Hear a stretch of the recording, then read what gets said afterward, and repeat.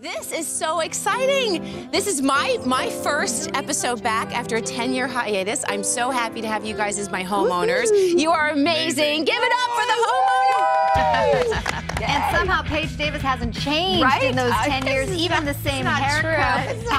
True. Paige Davis of TLC's Trading Spaces. Welcome to our set, Access Hollywood. We've got stars from the TV show Seventh Heaven here, and we're gonna work them into the ground. And I walked into the space and I said, "Oh, it's so Lichtenstein," and she's like, "That is why I love you, Paige." Oh. You know, so much of the time it was they loved it. It was always tears of joy. It was always happiness. Open your eyes and see what it looks like.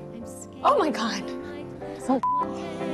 Oh, Baduda, this is great. could never keep things from one another. You know all the feelings that are in my heart. It's not easy, it's not easy when you have to be apart. Bye, Felicia.